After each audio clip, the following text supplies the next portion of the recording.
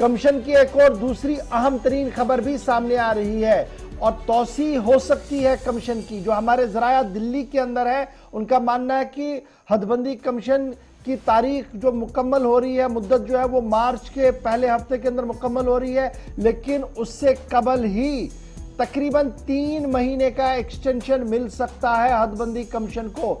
हमारे जरायों के मुताबिक हदबंदी कमीशन की तरफ़ से कुछ और वक्त मांगा गया था कमीशन के मरकजी वजारत दाखिला के साथ रबता करने के बाद, लेकिन मरकजी वजारत दाखिला ने मजीद वक्त देने से साफ़ इनकार कर दिया है और सिर्फ़ तीन महीने तक असूली इकरार किया गया है और उस सिलसिले में जो नई नोटिफिकेशन होगी, वो मार्च के पहले हफ़्ते में आपके सामने होगी, जब कम से कम तीन महीने का मजीद एक्सटेंशन इसको मिल सकता है, क्योंकि अभी एक्सटेंशन की बात अब वाजिया भी है, क्योंकि अभी जिस तरीके से काम हुआ है, चौदह तारीख तक एसोसिएट मेंबर्स के साथ मीटिंग हुई है इसके बाद अभी एक और मीटिंग होनी है, और समझ लीजिए सो वो 20 के बाद होनी है, उसके बाद ये अवाम के लिए वक्त रखा जाएगा, उसको भी 10 से 15 दिन का वक्त देना होगा, उसके बाद एक नोटिफिकेशन जारी होगी तो हदबंदी कमीशन का काम जो है वो मुकम्मल हो जाएगा। लेकिन ये सारा कुछ करने के लिए फ़िलहाल तीन महीने एक्सटेंशन मिल सकती है हदबंदी कमीशन को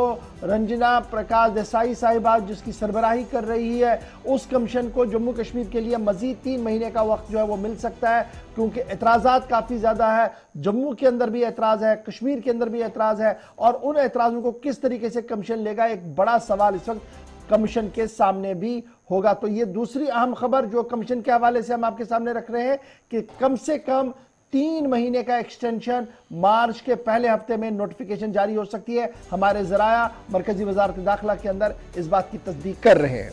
चलिए, जब कमीशन की बात हो रही है तो एक और अहम सवाल है इशफाक आपसे भी इस पर वजाहत चाहेंगे? और जो कानून के माहरीन हैं, वो भी कुछ लोग हमें कमेंट के ज़रिए बता रहे हैं और कुछ लोगों से जहाँ तक हमारी बात हो पाई है। जब से अबूरी रिपोर्ट आई है या इससे पहले पहला जो ड्राफ्ट आया था तो मुख्तलिफ़ पोलिटिकल पार्टीज़ ये कह रही थी कि अगर उनके मुतालबात नहीं माने जाते, एहतजाज का, की राह वो अख्तियार करेंगे। ये एक रास्ता उनके पास है। लेकिन दूसरा रास्ता ये भी है कि वो अदलिया के सामने जाएँगे, अदालत उजमा के सामने, या फिर कोर्ट का दरवाज़ा खटखटाएँगे, वहाँ पर इस मामले को ले जाएँगे। कुछ लोग ये भी कहते हैं कि पार्लियामेंट्री पैनल के सामने इसे लिया जाया जाएगा। लोकसभा के अंदर दोनों ऐवान जरियों और ऐवान बाला के अंदर इसको डिस्कस होना चाहिए। ये सारी चीज़ें हमने सुनी पिछले छह से आठ महीनों के दौरान। लेकिन क्या कहीं पर कोई दफ़ा, कोई खसूसी इस तरह का इल्तजाम है कि जहाँ पर यह कहा जाए कि कमीशन के लिए गए हुए फैसले को चैलेंज किया जा सकता है? नंबर वन नंबर टू जो पॉलिटिकल पार्टीज़ इस वक्त कह रही हैं कि वो अदालत तो जाएँगी, इस मामले को चैलेंज कर सकती हैं और इसको रोका भी जा सकता है। इज़ देयर एनी पॉसिबिलिटी देखिए, दो बड़ी अहम बातें हैं। एक ये कि क्या अदालत का दरवाज़ा खटखटाया जा सकता है? पार्लियामेंट के अंदर इस पर कोई मामला आ सकता है? तो इनकी वजाहत खुद जिस रूह से ये कमीशन अभी काम कर रहा है, अगर पाँच अगस्त से पहले ये कमीशन काम करता तो नवीयत हमारे सामने कुछ अलग होती। लेकिन चूँकि अब वो नवीयत हमारे सामने नहीं है तो मरकजी कानून जो डिलिमिटेशन एक्ट है, उसके अंदर तीन चीज़ें बड़ी क्लियर है। नंबर वन कि इस के अंदर तरमीम की कोई गुंजाइश ही नहीं है आउटसाइड यानी आउटसाइड मतलब क्या है जी? आप कमीशन के फैसले को कोर्ट के अंदर नो क्वेश्चन इन कोर्ट आप कोर्ट के अंदर कोई सवाल ही नहीं कर सकते हैं इसमें। यानी जो लोग ये कह रहे हैं कि जनाब कमीशन की रिपोर्ट आने दे मैं तो कोर्ट का दरवाज़ा खटखटाऊँगा।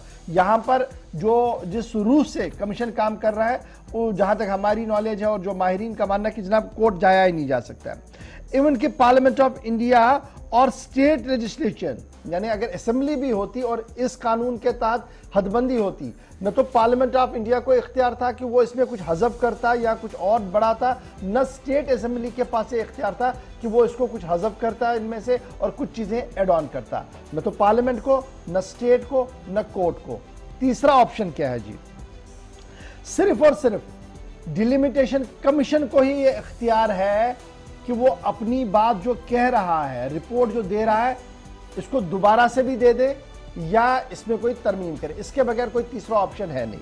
अब जब हम माजी की ओर देखते हैं तो दो तीन चीज़ें हम, एक मिसाल हमारे सामने है कि कैसे कुछ हुआ। लेकिन उससे पहले आपको याद होगा कि गुलाम नबी आज़ाद ने हमारे प्रोग्राम में दो बातें कही थी। उन्होंने कहते कि जब मैंने कानून लाया था, उस वक्त अगर पार्टियों ने मेरा साथ दिया होता तो सिचुएशन आज ऐसी नहीं होती। हमारे पास ऑलरेडी डिलिमिटेशन हुई थी, लेकिन माना नहीं गया। तो कुछ सियासी लोगों ने इतराज किया, कि जनाब आज़ाद साहब कैसे ये बात कर रहे हैं? तो हमने जब इसको वेरीफाई किया बाबा तौर पर मसवदा बना था असम्बली के अंदर वो कोई भी जाकर देख सकता है।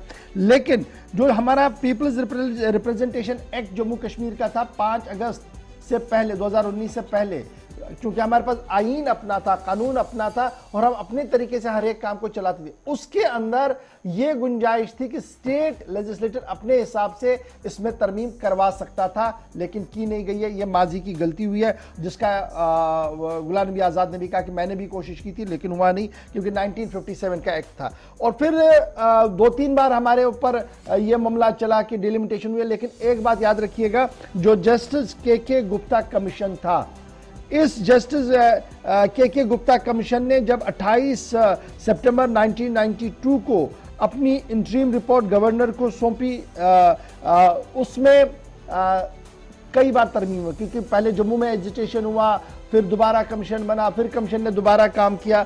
तो फाइनली ये जो जस्टिस गुप्ता साहब का कमीशन था उन्होंने जो लाइन खींची उस वक्त। 92 में के के कमीशन ने, उन्होंने जो गवर्नर को बताया, उन्होंने रिकमेंड किया कि 46 सीटें जो कश्मीर में 37 जो जम्मू में हो, चार लद्दाख के लिए हो। और इस के बाद काफ़ी हंगामा हमने जम्मू के अंदर देखा। फिर दोबारा इसी कमीशन को कृष्णा राव साहब जो थे वो मैदान में आए। उन्होंने कमीशन को कहा कि जनाब आप देखिए मिलिटेंसी सामने थी, कुछ मामला चला नहीं। और फिर पचानवे, जो मैं कह रहा हूँ कि 1996 में जब चुनाव हुए तो उससे पहले कमीशन ने अपना काम किया था हदबंदी कमीशन ने। That was K K Gupta's commission और 26 अप्रैल 24 अप्रैल 1995 को के के गुप्ता कमीशन ने डिलिमिटेशन रिकमेंडेशन जो है वो जनरल राव के सामने रखी, राजभवन के अंदर, जम्मू के अंदर, जिसमें वही खदुखाल था, जो पहले था, जिसको लेकर जम्मू में एहतजाज हुआ था 46 एंड 37 तो उसी को लेकर फिर चुनाव हुए थे और आज दोबारा कमीशन यानी अगर कमीशन का कोई पन्ना आपने बदलना है तो वो कमीशन को ही इख्तियार है। अभी तक हमारे पास जो मुख्तलिफ़ जराया, मुख्तलिफ़ पैनल से हमने गुफ्तु की है, ये बात जो है वो सामने आ रही तो यही वजह है कि पार्टियाँ काफ़ी टाइट लिफ्ट है। न वो अदालत में जाने की बात कर रही है, एक को छोड़कर, और ना ही वो बड़ी बात कोई कह रहा है। एजुटेशन की जहाँ तक बात है एहतजाज की जहाँ तक बात है, वो जमहूरी हक एक है, हमारे आइन के अंदर, कानून के अंदर, उसकी है कि आपको लगता है कि आपके हकूक पर शबखून होना तो आप पुरअमन एहतजाज कर सकते हैं। अमन कानून को दरहम बरहम करके आप जब आप एहतजाज करेंगे तो वो बलवे में आता है, वो फसाद में आता है, उसके लिए अलग कानून से फिर एफ़ आई आर भी दर्ज होती है। तो ये थी जनाब छोटी सी वजाहत जो हदबंदी के हवाले से थी, क्योंकि आज इसलिए वजाहत करनी पड़ी, दो बैक टू बैक खबरें हमने आपके सामने हदबंदी के हवाले से रख दी।